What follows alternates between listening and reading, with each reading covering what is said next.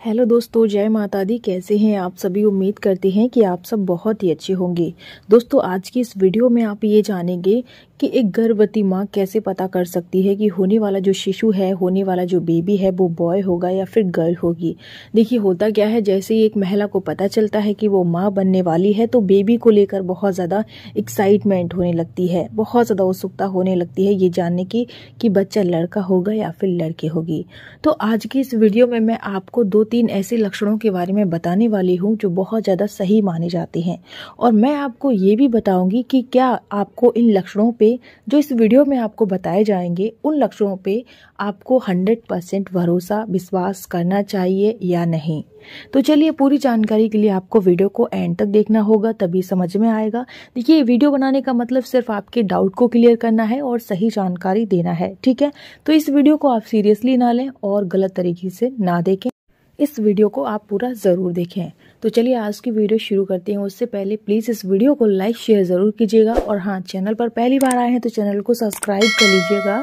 और bell notification को all पे प्रेस कर लें, जिससे कि आपको प्रेगनेंसी टिप्स से रिलेटेड और भी वीडियोस की नोटिफिकेशन टाइम से मिलती रहे। तो चलिए गाइस वीडियो को शुरू करते हैं। सबसे पहले जानते हैं पहले सिम्टम के बारे में। अब गाइस होता क्या है? काफ़ी महिलाओं को प्रेगनेंसी के शुरुआती महीनों से ही बहुत ज़्यादा उल्टियों की समस्या होने लगती है। आपने देखा होगा, काफ़ी गर्भवती महिलाओं को उल्टियों की समस्या होती है तो काफ़ी महिलाओं को बिल्कुल भी नहीं होती है, ना के बराबर होती है। माना ये जाता है, काफ़ी आर्टिकल्स में शायद आपने देखा भी होगा। ऐसा माना जाता है कि अगर उल्टियाँ ज़्यादा होती है तो ऐसे में लड़की यानी कि बेटी होने के संकेत होते हैं। वहीं अगर आपको उल्टियों की समस्या प्रेगनेंसी के पहली तिमाही में कम होती है ना के बराबर होती है तो ऐसे में बेटा होने के चांसेस होते हैं। अब ये होता क्यों है, ये जानना आपके लिए सबसे ज़्यादा ज़रूरी है।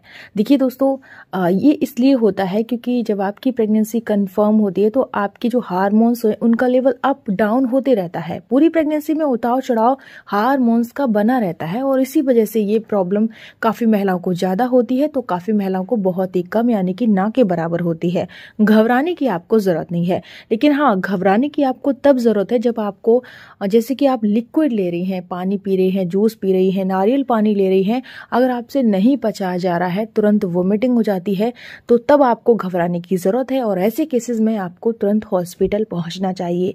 जब आपको कुछ भी नहीं पचेगा मतलब जब आप जूस पियेंगी लिक्विड लेंगी, अगर नहीं पचाया जाएगा तो आपकी बॉडी के अंदर डिहाइड्रेशन की प्रॉब्लम हो सकती है, जिससे कि आपके बॉडी में बहुत ज़्यादा पानी की कमी हो जाएगी डिहाइड्रेशन की प्रॉब्लम हो जाएगी और बेबी को खतरा हो सकता है।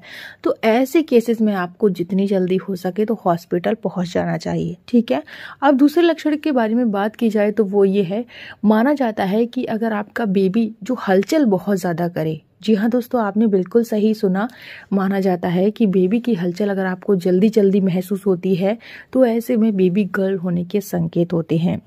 वही ऐसा भी माना जाता है कि प्रेगनेंसी के टाइम पर अगर आपका बच्चा कम हलचल करता है या फिर बहुत दिनों बाद हलचल करना स्टार्ट किया है तो ऐसे में माना जाता है कि ये लड़का होने का संकेत होता है।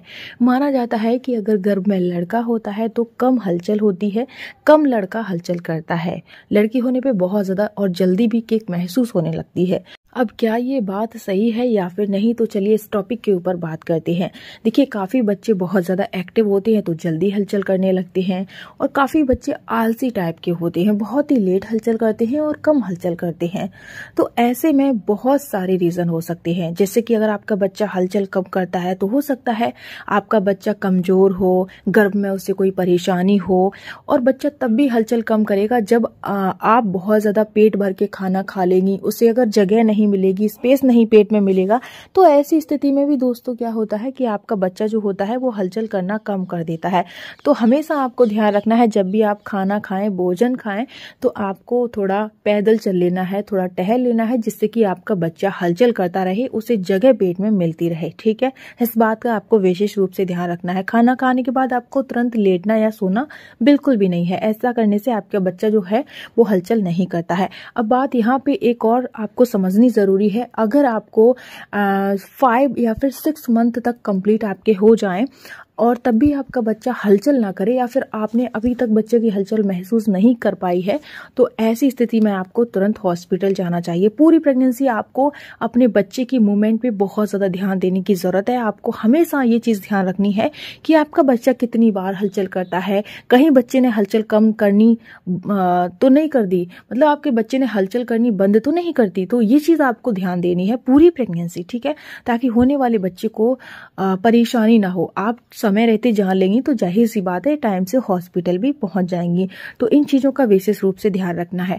अब बात आती है, कुछ बच्चे बहुत जल्दी जल्दी हलचल करते हैं तो क्या होता है? देखिए, अगर आपका बच्चा बहुत जल्दी जल्दी हलचल करता है, बहुत जल्दी मूवमेंट करता है तो ऐसे में गर्भवती महिलाओं को घबराने की बिल्कुल भी आवश्यकता नहीं है। बच्चा अगर बहुत ज़्यादा एक्टिव होगा, हलचल पल पल पे करेगा तो इससे साफ़ पता चलता है कि आपका बच्चा पूरी तरह से हेल्दी है, तभी तो वो जल्दी जल्दी हलचल कर रहा है। तो हलचल करता है तो आपको घबराने की ज़रूरत नहीं है। तो मैं यहाँ पर आपको ये बताना चाहती हूँ कि लड़का और लड़की होने का कोई भी लक्षण हंड्रेड परसेंट वर्क नहीं करता है। ये आपकी बॉडी हारमोन्स के ऊपर डिपेंड होते हैं और कुछ रीज़न भी होते हैं जो ऐसे लक्षण दिखाई देने लगते हैं, ठीक है? तो होप करते हैं आपके सारे डाउट इस वीडियो में क्लियर हो गए होंगे। अगर हमारी इस वीडियो से आपको थोड़ी सी भी जानकारी मिलती है, इस वीडियो की जानकारी अच्छी लगती है। तो इस वीडियो के कमेंट बॉक्स में जय माता दी ज़रूर लिखें। इस वीडियो को लाइक शेयर और चैनल को सब्सक्राइब ज़रूर करें मिलते हैं नेक्स्ट वीडियो में। तब तक के लिए टेक केयर एंड बाय